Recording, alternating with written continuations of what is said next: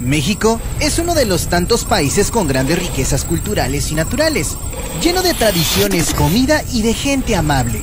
Es así como México está integrado por 32 estados, de los cuales cada uno tiene su riqueza y colorido, como lo es el estado de Veracruz, lleno de música, tradición y comida. Una de sus regiones, denominada como la Huasteca Baja, es parte primordial de este bello estado. A los huastecos se les conoce como los Tenec, que es una palabra de origen maya que significa los hombres de aquí. Es en esta región en donde encontramos la localidad de Tecapa, que está situada en el municipio de Ilamatlán. Tecapa es una población que se encuentra a 1181 metros de altitud sobre el nivel del mar. Es un pintoresco pueblo con 983 habitantes, donde 507 son mujeres y 476 son hombres hasta el 2020 según el INEGI. Es una de las comunidades más pobladas de todo el municipio de Ilamatlán, ocupando así el sexto lugar.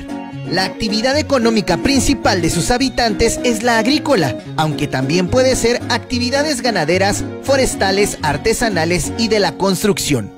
Su población en su mayoría es de raza originaria, indígena, con un 90% de personas, de las cuales el 86% habla alguna lengua originaria, principalmente huasteco o que es una lengua mayense o también pueden hablar nahua, motivo por el cual Tecapa es parte de las comunidades que tienen una riqueza cultural y gastronómica, que en este rico tema podemos encontrar deliciosos platillos como unas deliciosas picaditas con salsita de molcajete, unas ricas y deliciosas enchiladas con huevito duro, salsa de molcajete con un delicioso pescadito frito, tamales realizados con hoja de plátano como el cojol, que es dulce, o los piltamales, así como los tlalpepecholes y los ilacats, que son tamales especiales, son ceremoniales para Semana Santa y el Día de Muertos.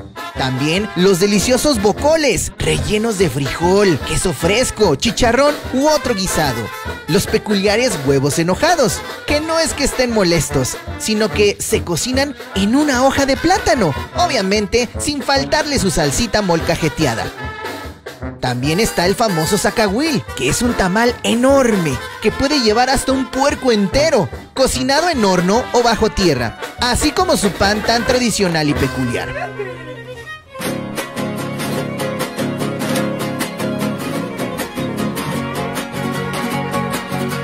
Por otra parte, en la situación cultural, Tecapa tiene carnavales y fiestas patronales, que este tipo de actividades datan desde tiempos de la colonia en todo Veracruz.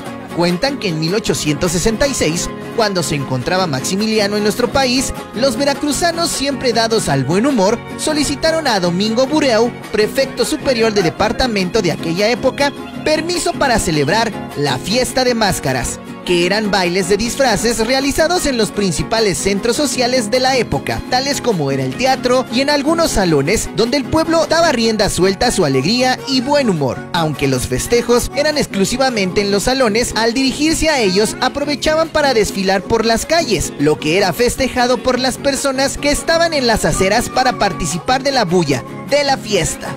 A partir de ese momento, los carnavales fueron creciendo en sus características y aspectos, siendo organizados por un comité.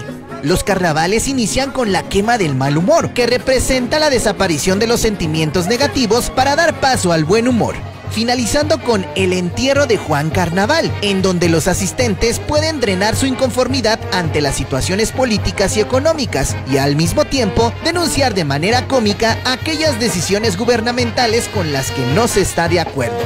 Otra fiesta importante en la región es el Chantolo, que significa Santorium, que es la fiesta de todos los santos de la Iglesia Católica. Esta palabra fue introducida al náhuatl por los Tenec, el pueblo huasteco, y la hizo una fiesta que se desarrolla en el final y el reinicio del ciclo anual del maíz, entre el 31 de octubre y el 2 de noviembre, cuando se abren los puentes entre el más allá y el mundo terrenal para convivir a través de una majestuosa forma simbólica con los difuntos. Sin embargo, la celebración huasteca no solo se manifiesta en familia, sino que se hace partícipe a vecinos y visitantes. Es por eso que el Chantolo, así como otras fiestas indígenas dedicadas a los muertos, están incluidas en la lista representativa del patrimonio cultural inmaterial de la humanidad.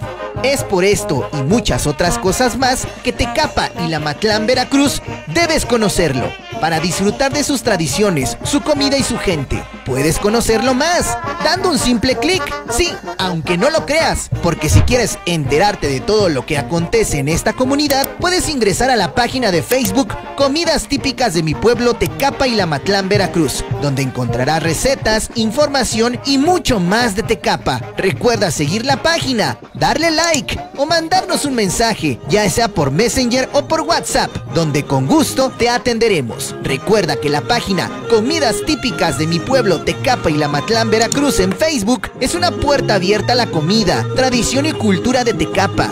Ven, pasa, estás en tu casa, siéntate y disfruta.